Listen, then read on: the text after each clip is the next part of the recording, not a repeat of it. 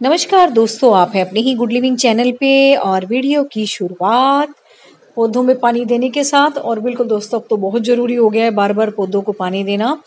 अब तो एक भी दिन हम रह नहीं सकते पौधों को पानी दिए बिना। और बिल्कुल दोस्तों, अब आपको प्लांट्स को भी अपने इस तरह से मैनेज करके रखना पड़ेगा कि वो एकदम तपती धूप से थोड़ा सा बच पाएँ। क्योंकि अभी आप बाहर भी नहीं निकल सकते नेट वगैरह भी नहीं लगा सकते।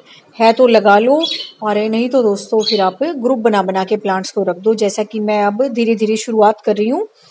और आज का दोस्तों हम प्लांट लेते हैं, जैसे कि बहुत सारे गुड लिविंग मेंबर्स के कमेंट थे कि आप इस पौधे के बारे में थोड़ा सा बताओ। तो दोस्तों, अगर आपके आसपास ये कहीं लगा हुआ है तो आप इसको बिल्कुल कटिंग से भी लगा सकते हो। जैसा कि मैंने पुदीना लगाना बताया था ना, बिल्कुल उसी की फैमिली से है ये। और उसी तरीके से दोस्तों इसको लगाया जाता है। जैसे मैंने थोड़ी सी मज़बूत सी डंडी ली थी ना, उसी तरीके से आपने लगाना है। और यकीन मानिए, मैंने भी इसको कटिंग के द्वारा ही लगाया था। जब मैं वॉक पे से आती थी तो एक घर के बाहर ना पूरा झाड़ उगा हुआ था इसका। तो मैं इसकी दो चार डंडियाँ ले आई थी, फिर मैंने इसको अलग अलग जगह पे ग्रो कर दिया था। और ये भी देखो, फूल तो आप देख ही रहे हो। और दोस्तों, ये इतना हार्डी प्लांट है कि जो आपकी समर की गर्मी है, उसको तो बर्दाश्त करेगा करेगा। और इसमें दोस्तों, ज़्यादा पानी देने की भी ज़रूरत नहीं होती। तो फिर मुझे लग रहा था मैं इस प्लांट के बारे में बताऊँ, जैसा आप पूछते रहते हो। और हैंगिंग बास्केट में भी दोस्तों, इसके फूल बहुत खूबसूरत खिलते हैं। और कटिंग से तो मैंने बता दिया, आप बहुत आसानी से लगा सकते हो। और आप इस तरीके से ना इसको हैंगिंग बास्केट में या छोटे छोटे गमलों में भी लगाते हो, जैसा मैंने लगा रखा है। तो बिल्कुल आपका गमला भी ये कवर कर लेगा। और दूसरा अगर आप हैंगिंग बास्केट्स में लगा रहे हो आप या छोटे छोटे प्लांटर्स में लगा रहे हो तो भी इस तरह से चारों तरफ़ से फैल जाएगा और फिर जब इसके फूल खिलेंगे ना चारों तरफ़, अभी तो जैसे शुरुआत ही हुई है फूल खिलने की, लेकिन जब ये फूलों से भर जाएगा ना तो और भी खूबसूरत लगेगा। एक और कलर है, मेरे पास टमाटरी सा है रेड कलर वो भी, उसमें भी फूल नहीं आए हैं आगे वाली साइड है वो तो वो भी अगर उसके फूल आएँगे तो मैं आपको दिखाऊँगी। अभी इसमें आने शुरू हुए हैं। तो बिल्कुल बहुत आसानी से उगने वाला प्लांट है दोस्तों, और घर में अगर आपके लगा हुआ है तो आप इसकी कटिंग काट काट के और भी प्लांट बना सकते हो, थोड़ा शेड एरिया में रख के, जैसे हमने पुदीने की कटिंग लगाई थी ना, बिल्कुल वैसा ही आपने इसको पहले एक बार चला लेना है। एक बार चल गया रूट बन गई, फिर तो आप इसको जहाँ मर्ज़ी लगाओ। और बहुत हार्डी प्लांट है दोस्तों, इस तरह की ना थोड़ी सी मैच्योर सी आपने इसकी कटिंग लेनी है। और ऊपर के अगर दो चार पत्ते छोड़ो तो बेशक छोड़ भी देना, नीचे के सारे हटा देना। फिर ये बीच बीच में से जहाँ से भी इसके पत्ते निकलने होंगे ना, वहाँ से ग्रो करेगा और नीचे इसकी जड़ बननी शुरू हो जाएगी पाँच सात दिन के अंदर अंदर ही। आप निकाल के देखोगे ना तो आपको जड़ बनी मिलेगी। और अब आप कहोगे इसकी कटिंग कैसे लगानी है? इसकी कटिंग दोस्तों, आपने बिल्कुल ज़्यादा रिवर सैंड मिला के तब कटिंग लगानी है ताकि इसकी रूट्स को बनने में ज़रा सी भी दिक्कत ना हो और नहीं तो कंपोस्ट में भी लगा सकते हो आप। और जैसा कि मैंने बताया दोस्तों ज़्यादा पानी देने की इसको कोई ज़रूरत नहीं है नहीं तो ये प्लांट ख़राब हो जाता है। क्यों हो जाता है? इसका मुझे भी एक्सपीरियंस तब हुआ जब मैं आ, कुछ साल पहले इसमें रेगुलर वाटरिंग करती थी और मेरे कई सारे पौधे ख़राब हो गए थे। फिर मुझे पता लगा कि इसमें ज़्यादा पानी देने की ज़रूरत ही नहीं होती। है थोड़ा सा नाजुक ये देखो। भले ही मैंने सारे पौधों में पानी दिया हुआ है, लेकिन ये देखो, इसकी मट्टी आपको सूखी नज़र आएगी। और मैं इसमें ज़्यादातर शावरिंग करके ही पानी देती हूँ हल्का फुल्का कभी दे दूँ तो दे दूँ।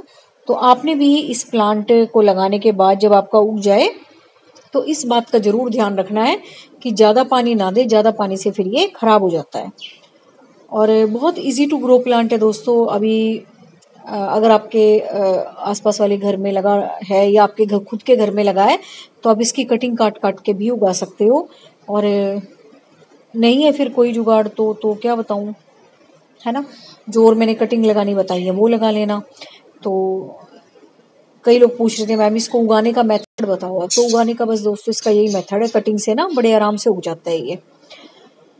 और सबसे बड़ी बात है इस प्लांट की कि ये ना ज़्यादा केयर भी नहीं मांगते एक तो। आ, अगर आपका एक बार प्लांट चल जाता है और आप उसको सेफ़ साइड पे रख देते हो तो बिल्कुल आपको इतनी ज़्यादा कोई केयर करने की ज़रूरत नहीं है। कभी कभार पानी दे दिया। और ज़्यादातर दोस्तों इसको शावरिंग करके ही पानी पसंद है बजाय कि इसकी मट्टी गिल्ली करने के। तो थोड़ा सा इस बात का अपने ध्यान रखना है। ये नहीं कि बिल्कुल सूखी रखनी है। आ, कभी कभार मैं अच्छी तरह दे भी देती हूँ।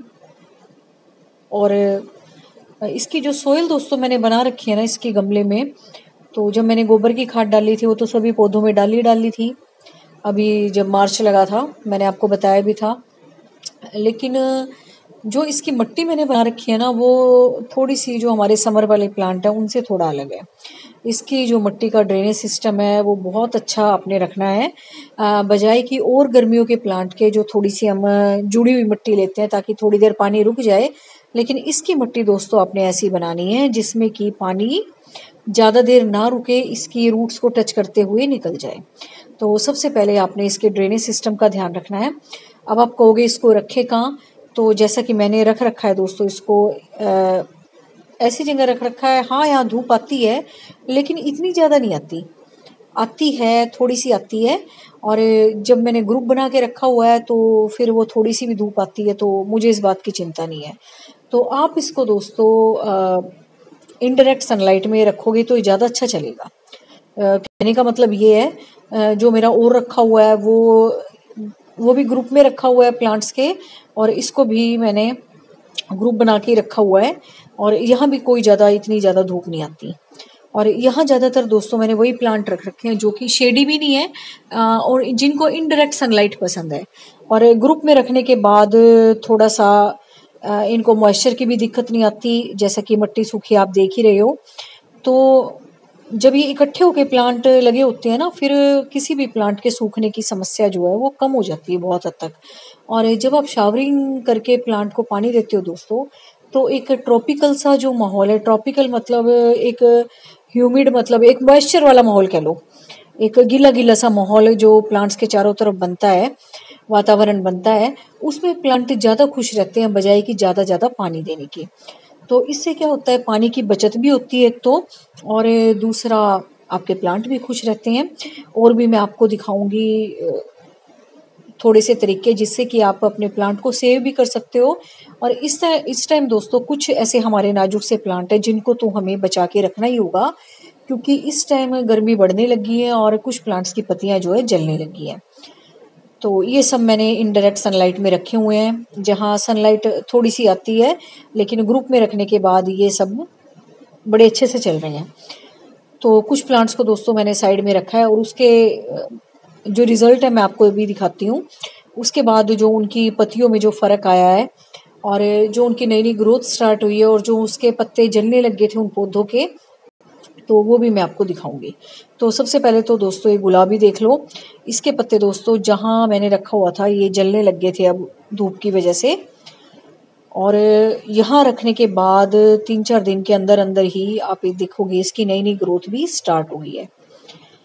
ये देखो नए नए पत्ते निकलने शुरू हो गए हैं। जहाँ ये धूप में रखे हुए थे, वहाँ कोई पत्ता नहीं निकल रहा था। बल्कि जो पुराने वाले पत्ते थे ना, वो जले जा रहे थे।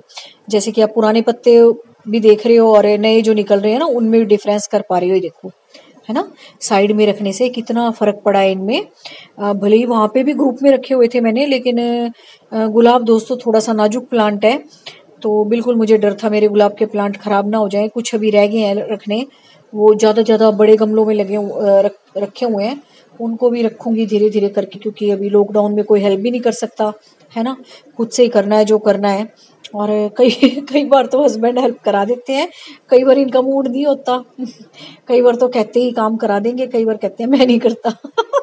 सबका यही हाल होता है ना। तो जिसको दोस्तों शौक होता है ना, फिर वो चाहे कैसे मर्ज़ी काम करे, उसको तो करना ही करना है। और ये देखिए अब यहाँ पे ना आपको देखो, सारे प्लांट खुश नज़र आएँगे। जबकि मैंने ग्रुप में रखे हैं और मैं अब धीरे धीरे दोस्तों इनके ऐसे ही ग्रुप बना बना के इनडायरेक्ट सनलाइट में रखती चली जा रही हूँ। जहाँ भी मुझे जगह मिल रही है, जहाँ भी ऊपर कोई छज्जा सा है या कोई पोर्च एरिया है या ऊपर से थोड़ा सा भी कवर्ड एरिया है, मैं इनको वहाँ रख रही हूँ, जहाँ पे इनको इनडायरेक्ट सनलाइट मिले।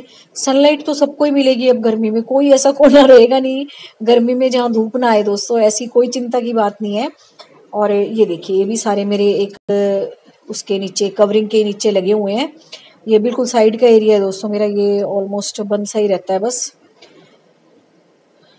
स्टोर वगैरह है ये। तो यहाँ पे भी पूरी हरियाली होगी अब। और ये देखिए, बेल वेल लग लगा के अब ये सारा एरिया बहुत सुंदर सा तैयार हो गया पहले बिल्कुल सोना सोना था ये। और इस तरीके से मैंने सारे सारे जो मेरे नाजुक से प्लांट थे, मैंने एक तरफ़ रख लिए और ये बड़ी डिश में लगा हुआ है दोस्तों, मेरा टाइगर रोज इस तरफ़ ना कई गुलाब अभी रखे हुए हैं। इनको भी मैं लगाऊँगी अलग अलग और इस पे दोस्तों, मैंने ट्रीटमेंट भी किया था। ये बिल्कुल मरने वाला हो गया था और अब ये देखो, सारी नई ग्रोथ है इसकी। और एक तरफ़ का एरिया जो इसका खराब सा हो गया था, उसको मैंने काट छाट दिया था। अब इस तरफ़ से नई डंडी निकली और इस पे देखो कितनी सारी बर्ड्स आई हैं, है ना? तो कई बार दोस्तों हमारे इलाज करने से, ध्यान देने से पौधे पे वो बच भी जाते हैं और फिर जब उन पे फूल खिलते हैं या ग्रोथ उनकी अच्छी होती है इस तरीके से तो बहुत खुशी होती है देख के, है ना, कि हमने एक प्लांट को मरने से बचा लिया। और ये सारी दोस्तों नई नई पत्तियाँ इसकी आप देख ही रहे हो नई नई उग भी रही हैं। बस मुझे अब चिंता है इसको थोड़ा सा जगह देख के, इसको भी मैं साइड में लगाऊँगी क्योंकि ये जो गमले हैं ना, डिश वाले हैं ये। और अब आप पूछ रहे थे, आप टमाटर का प्लांट अपना दिखाओ तो दोस्तों मैं यहाँ से बहुत सारे टमाटर उतार उतार के ले जाती हूँ चटनी वटनी बनाती रहती हूँ क्योंकि ये देसी टमाटर हैं खट्टे होते हैं जो बिल्कुल ही। और ये सब्ज़ी तो इनकी खैर अच्छी लगती है आपको पता ही है खटास होती है इनमें चटनी भी इनकी बहुत अच्छी बनती है। और इस तरीके से दोस्तों आप अपना छोटा सा किचन गार्डन तैयार करके आ, कई बार इमरजेंसी में हमारे पास कोई सब्ज़ी ना हो तो हम अपने घर से ही छोटा मोटा काम चला सकते हैं है ना? तो ये देखो इतने सारे टमाटर इस पे अभी आ रहे हैं। और भी जो मैंने अलग अलग डब्बों में लगा रखे हैं, उनमें भी खूब अच्छे टमाटर चल रहे हैं, ग्रोथ अच्छी आई हुई है। और सब्ज़ियाँ अभी उगने लग रही हैं, और ये देखो जो मैंने डब्बे में दिखाए थे आपको, ये भी बस अब थोड़े दिन में पक जाएँगे। अब ये नया नया पौधा है ना, इसमें नए नए बनने शुरू हुए हैं, ये भी ऐसे रेड हो जाएँगे फिर। तो कई जगह पे उगे हुए मेरे टमाटर के प्लांट कईयों में फूल आ रहे हैं, कईयों में टमाटर बनने लग गए हैं। और दोस्तों, जो मैंने टिप्स और ट्रिक्स आपके साथ शेयर कर रखी हैं टमाटर के प्लांट की लगाने की भी। तो अगर वो वाला वीडियो आप देखते हो तो बहुत अच्छा तो आपको रिज़ल्ट उसके बहुत अच्छे मिलेंगे। आपके टमाटर के फूल नहीं झड़ेंगे बस। और अब आपकी दोस्तों जो मॉर्निंग ग्लोरी की वाइन है आ, उसको भी आप बिल्कुल साइड में रख दो इनडायरेक्ट सनलाइट में जैसे मैंने और प्लांट रखे हैं अपने। तो आ, ये अच्छी चल जाएगी कुछ दिन और नहीं तो फिर अगर धूप में रखी रही ना ये सूख जाएगी फिर। तो उम्मीद है आपको आज का वीडियो अच्छा लगा होगा। लेंटाना का जो प्लांट है, मैंने आपके साथ शेयर किया, जिसको कि हम राइमुनिया भी बोलते हैं। तो उम्मीद है आपको लगाने का वो तरीका आ गया होगा उसको। तो बस इस तरीके से अपने प्लांट को सेव करो मैनेज करो। Thank you very much take care of you and your plants